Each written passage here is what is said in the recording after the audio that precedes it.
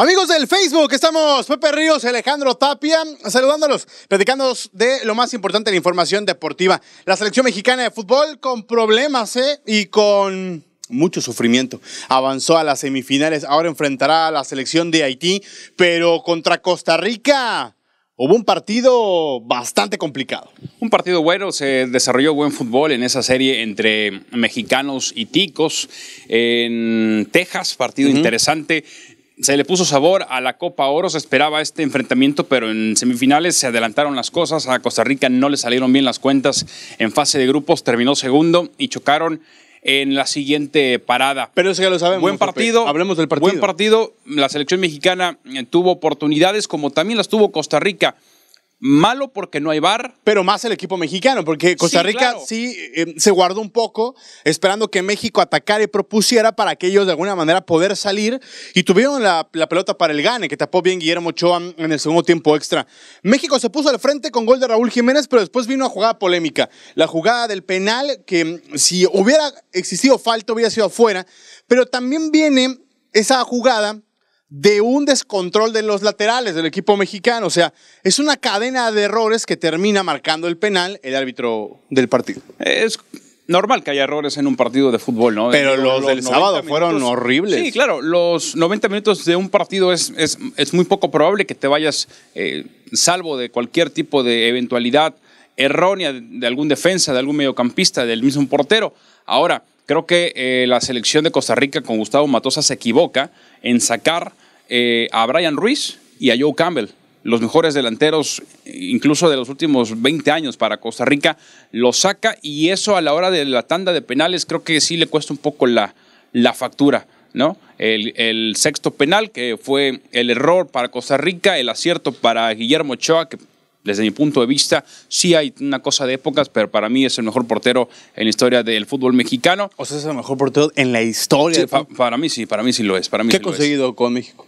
Desgraciadamente nada. Ah, entonces. Fíjate, en lo ah, particular. Fíjate, en lo particular, pero si hablamos de los. Solo. No, pero, pero si hablamos de los dos títulos más importantes en la historia del fútbol mexicano, eh, solo. Con, con, con mayoría, es la Copa Confederaciones que se hizo en México, donde Jorge Campos era portero y los Juegos Olímpicos de Londres. Sin embargo, a JJ Corona no lo pones dentro de los mejores porteros de la historia de México. Bueno, entonces tal vez ahí los galardones eh, individuales o colectivos, pero que forman parte de una generación como Jorge Campos y J. Corona, no pones al portero te recuerdo, hoy, de la te, te, recuerdo que Jorge Campos fue catalogado en su época como uno de los tres mejores arqueros del mundo. Sí, pero. Te lo recuerdo. sí, claro. O sea, del mundo. Pero, independientemente de marcar o no em, en esta situación, en, en su palmarés con la Copa Confederaciones, independientemente de eso, Jorge Campos marcó época, Jorge Campos fue un ídolo, Jorge Campos es una leyenda, Jorge Campos es alguien que hizo más eh, vistoso el fútbol. Guillermo Ochoa desafortunadamente no ha logrado eso. ¿Ha no logrado eh, hacer vistoso el fútbol? No ha marcado una época. Ha sido una sensación. Claro que sí. No, no ha marcado una época. O sea, me, o sea, hablar de Guillermo Ochoa comparándolo con Jorge Campos, me parece es una falta de respeto. No, no, para nada. José Luis, para nada. Para el mejor arquero que ha tenido el fútbol nacional. La Tota Carvajal logró cinco copas del mundo. Guillermo Ochoa tampoco, está en camino de lograrlo. Y a lo mejor llega a Qatar, a lo mejor no, por la edad, no lo sabemos. Pero Tampoco ha jugado en todas. Pero el fútbol en la, en la época de la Tota Carvajal era en cámara lenta. Por, eso, Ahora no, Guillermo Ochoa es un atleta de alto rendimiento. Es que tú estás, de, tú estás degradando cada una de las épocas. No, degrado, Claro, no, estás degradando cada una de las épocas de los arqueros del fútbol mexicano para poner a tu Memito Ochoa como el mejor arquero de todos los tiempos. Y eso no puede ser. Con la selección mexicana. Eso no puede ser, Pepe. Eso no puede ser. no puede ser. Con el Granada, con el Málaga, con el Estándar Lieja. No puede ser, Pepe. Guillermo Con el Málaga ni jugó. Por eso, bueno, pero son las, son las camisetas que ha vestido en el, en el Ajaxio, en el Granada y en el Pepe, en el Standard es un icono mundial del deporte llamado fútbol.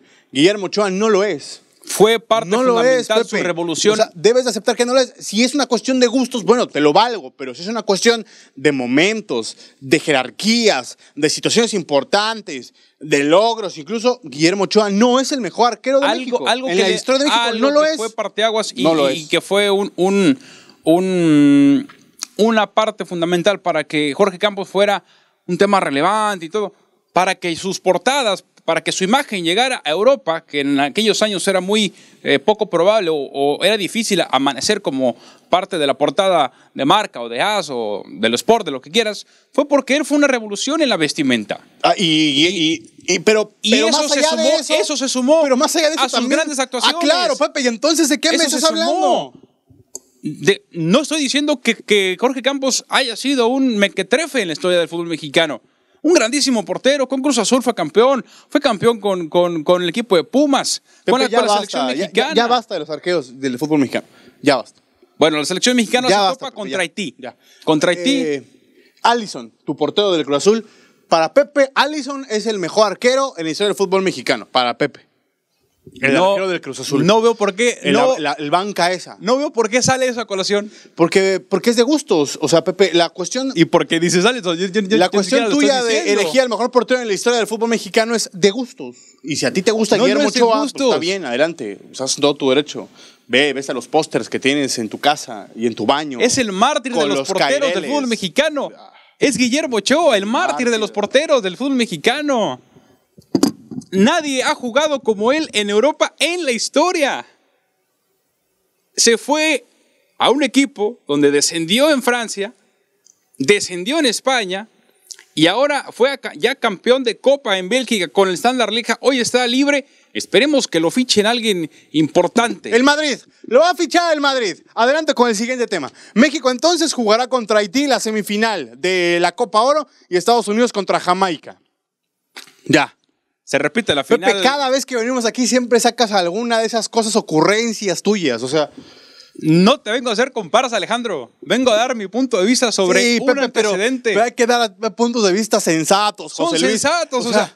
Mira, la la productora se está riendo de ti. Se está riendo de, tus payasadas porque ya dejaste acá el micrófono. Está renunciando a tu palabra. No, no puedo irme porque si no, ahí se otro problema, pero en fin. A ver, ¿qué otra cosa tenemos? Bueno, se repite la final de la Copa Oro pasada 2017, pero ahora en semifinales Jamaica ante Estados Unidos, Boy clásico del norte. Entonces no se repite. Pero en semifinales. Pues, entonces el enfrentamiento se repite en las. si fuera repetición sería en la misma situación y circunstancia. Miri, por favor, haz algo, por favor, líbranos de este mal. Trae el profesor Manzanares para voy, que enseñe Voy por clásico de Norteamérica o clásico de la CONCACAF, México ante Estados Unidos. Bueno, ¿De acuerdo o no estamos de acuerdo? Sí, carpetazo a la Copa de Oro. En la Copa América habrá semifinales también ya definidas, Argentina contra el equipo de Brasil y Chile ante el equipo de Perú. ¿Te gusta ese juego?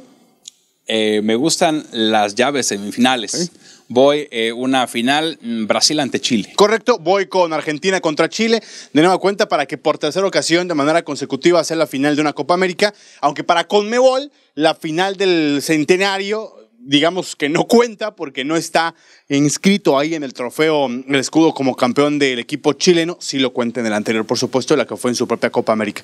Pero sería la tercera ocasión de manera consecutiva que se enfrentaran. Ahora ya sin San Paoli y con esta parte de Lionel Scaloni y, demás, y con Lionel Messi y también renunciando al Celeste y todo eso, ¿no? Pues fue cuando renunció, ¿verdad? Sí, sí, fue cuando renunció. Sí, es correcto, fue cuando también perdieron contra el equipo chileno. Bueno, hablemos del tema favorito de Pepe y no es el Cruz Azul, sino el tiburón. Ochoa. Ah, no, de Ochoa, exactamente. Ahora mm, Ochoa es el nuevo ídolo de José es Luis Ríos. Sí, es un ídolo para mí, sin duda alguna. Es, es, un ídolo. Sí, Vamos con los tiburones. Ya, ya, ya, ya, ya, Punto final. Punto final con, con, Paco Memo Ochoa. Vamos con los tiburones que estuvieron por una semana en el Estado de México, en Toluca en Federación Mexicana de Fútbol, ahí haciendo su pretemporada de altura por el tema de, de las diferencias entre Veracruz y eh, Toluca. En dos partidos de preparación, ante el Zacatepec perdieron 3 por 1, ante eh, los Potros de la UAM perdieron cuatro goles a uno. ¡No, hombre! Son dos derrotas, son siete goles en contra, dos a favor. que no han ganado desde el torneo pasado. Desde agosto no ganan. Fíjate, falta poco para el año. ¿eh? Para el año calendario. Para el año calendario, sí, claro. Eh, ya jugaron sus refuerzos. El caso de, ¿Tres leches les gusta? De, Leighton Jiménez. yo traigo una. Ah, me voy. ah, bueno, o sea, tú, tú sí puedes decir. No, no, me voy. Me largo, o sea, no puede ser. O sea, ¿estás de acuerdo? Este. No puede ser. Alejandro, por favor, ya jugaron los refuerzos. Jugó Leighton Jiménez, jugó Leobardo López, jugó Ángel Reina, pero Veracruz. Eh, con malos resultados en partidos de preparación. Se habla del Pájaro Benítez, se habla de Rubén Bota. Al final todo está en especulación, como en algún momento lo estuvo Leighton Jiménez Ofrece y una disculpa a la gente. O sea, ofrece una O sea, disculpa. tú sí puedes hacer albures con la selección Yo chilena. no te estoy albureando. Ah, no. ¿Pero qué es eso? ¿Qué es eso? Yo traigo una. O sea, yo, yo no puedo traer una mm, media de estas, yo no voy a decir ¿Una, marcas. una de qué? Una de las que se usa Una para es media crema y la otra es leche normal. O sea, ni siquiera eso sabes.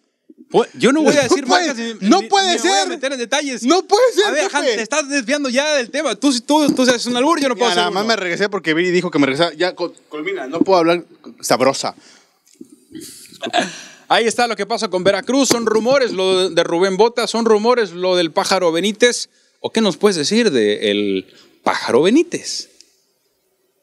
Mira, solamente porque va para la gente, nada más, Pepe, en serio. No me hables. O sea, tú eres como Luis Miguel, te debes a la gente. Efectivamente. Eh, lo de Edgar Benítez está todavía en la cuestión de la negociación con el, con el salario y con las Oye, ¿qué situaciones pasa con que, que tiene todavía el paraguayo. Peñalba todavía lo están estudiando por el tema de la rodilla y la operación que tienen. Todavía tienen bast- bastante tiempo para poder contratarlos o negociarlos si así lo desean. Recordemos que el mercado se cierra para jugadores nacionales el 17 de julio y para los jugadores que vienen del extranjero todavía habrá al menos tres semanas, agosto, tres semanas más. se Sí, cierra es correcto. El detalle de Veracruz es que mientras continúe más el tiempo eh, transcurriendo, son menos las probabilidades de que los elementos que vengan puedan estar listos para cumplir con el calendario. Ahora, si llegan elementos, por ejemplo, como el pájaro Benítez, podrían ponerse a tono un poco más rápido que vienen de una seguidilla de juegos y que vienen con actividad. En el caso de Peñalba, si es que se da o no, le costaría un poco más trabajo, recordemos, por la lesión, la operación, la inactividad y todo lo demás que ha desarrollado en los Edgar últimos Benítez viene a jugar con el, Con el Libertad de Paraguay. Libertad de Paraguay. Entonces, eh, todavía no se concreta, todavía está en negociaciones. Nosotros lo hemos eh, advertido desde hace dos semanas, pero aquí las cosas se pueden ir o se pueden caer en cualquier momento. Pero ahí estaremos informando al respecto de la situación. Veracruz pierde a Ronaldo Prieto, que lo, se lo llevan al Tampico Madero.